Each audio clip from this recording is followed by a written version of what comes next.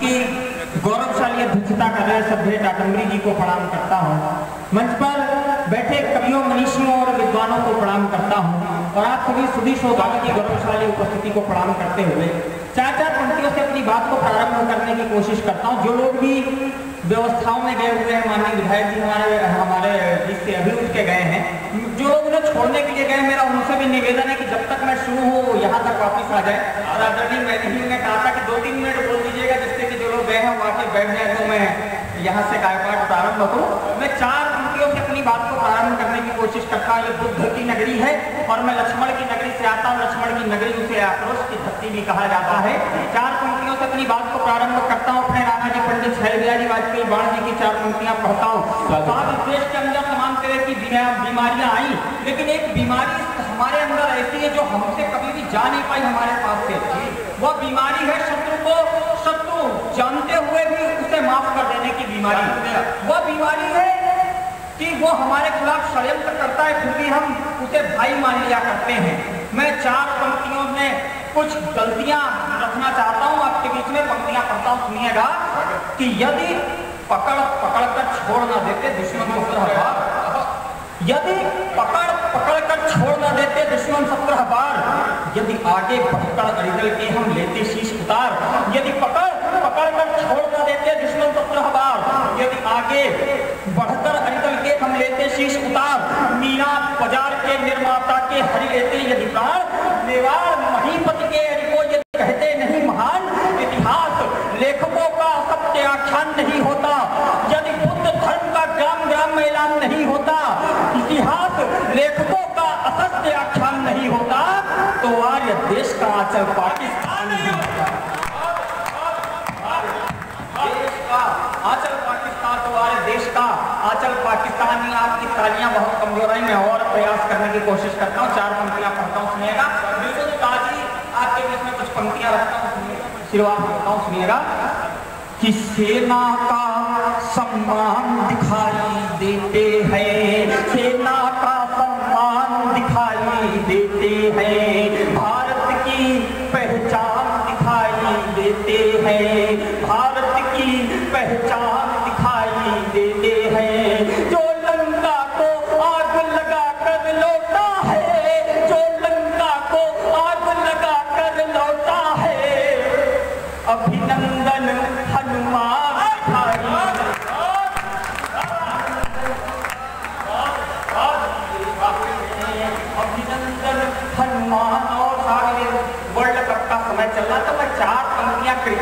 उठा लेता हूँ एक साहब, पाकिस्तान के अंदर थोड़े दिनों पहले, कुछ वर्षों पहले, सत्ता परिवर्तन हुआ एक नए उनके प्रधानमंत्री साहब बने वो क्रिकेटर हैं और वो क्रिकेट में भी हरकत होना है बॉलिंग और बैटिंग दोनों करना जानते हैं और उन्होंने उन्होंने पद की शपथ लेते ही कश्मीर में अपना एक क्रिकेट शुरू कर दिया मैं चार पंक्तियाँ उठाता हूँ आप तक की पहुंचाता हूँ सुनिएगा कि हम शांति व सद्भाव की राहों को चुनेंगे हम शांति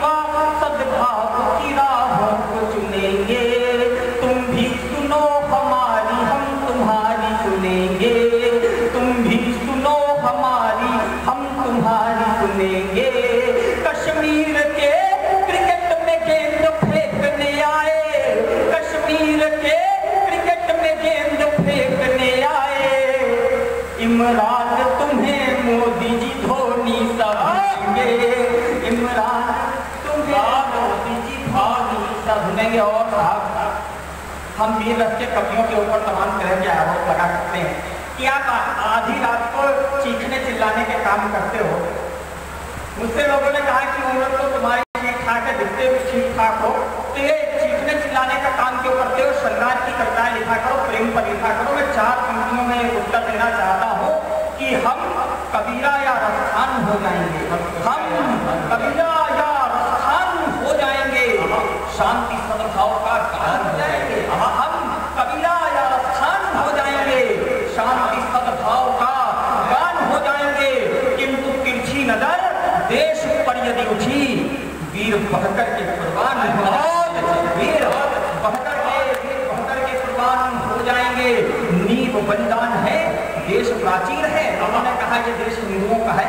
किसी ने कहा, ये देश मुसलमानों का है। मैं चार पंक्तियाँ पढ़ना चाहता हूँ कि ये कि नियम बलिदान है, देश प्राचीन है।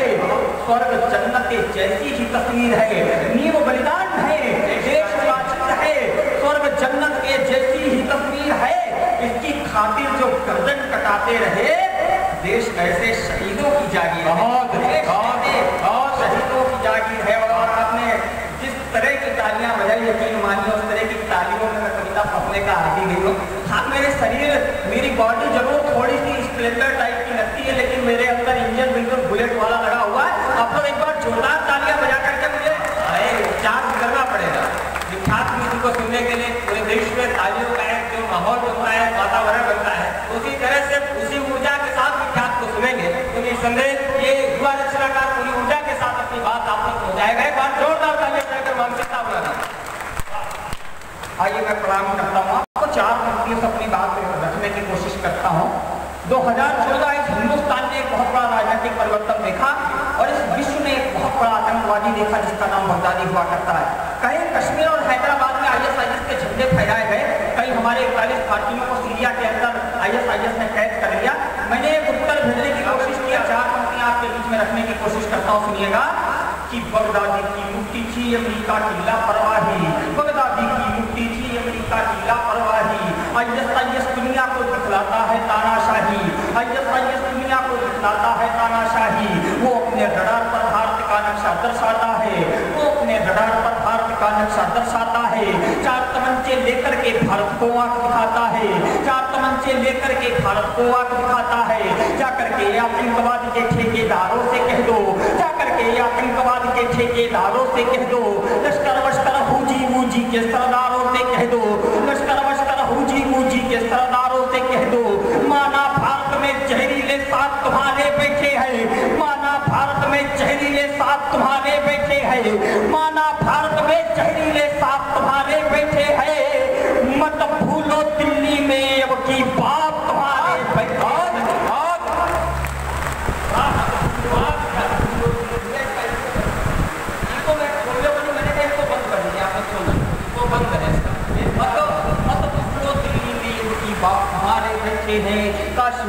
घाटी के अलगावी मसले जारी हैं कश्मीर की खाटी के अलगावी मसले जारी हैं दुष्टि नीतियाँ राष्ट्र नीति पर प्रवृत्तियाँ भारी हैं दुष्टि नीति पर प्रवृत्तियाँ भारी हैं। सपने जहाँ बुने जाते हैं भारत की बर्बादी के। सपने जहाँ बुने जाते हैं भारत की बर्बादी के।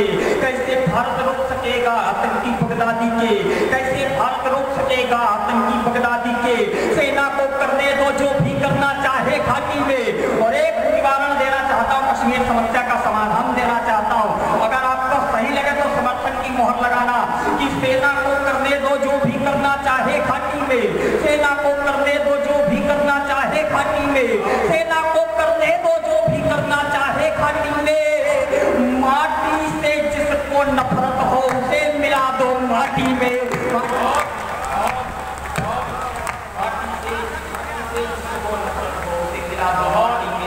माटी से जिसको नफरत हो, उसे मिला दो माटी में। मोदी जी घाटी के मसलों को अब और नहीं टालो।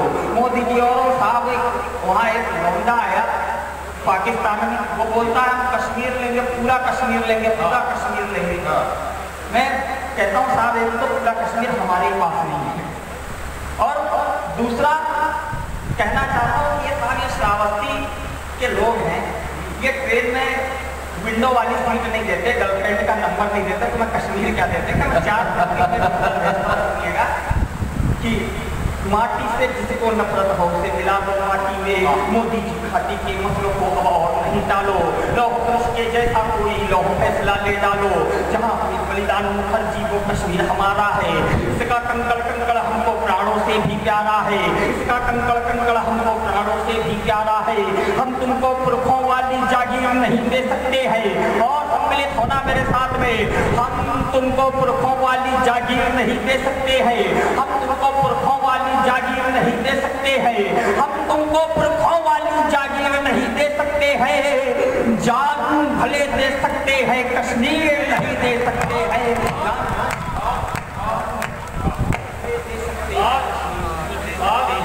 जान भले दे सकते सकते हैं, कश्मीर नहीं दे सकते हैं।